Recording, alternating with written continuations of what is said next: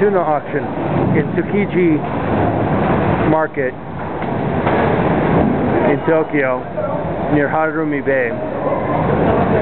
The tuna auction has just finished for the big tuna.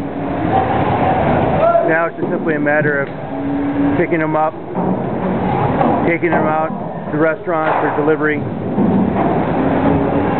and dropping them off.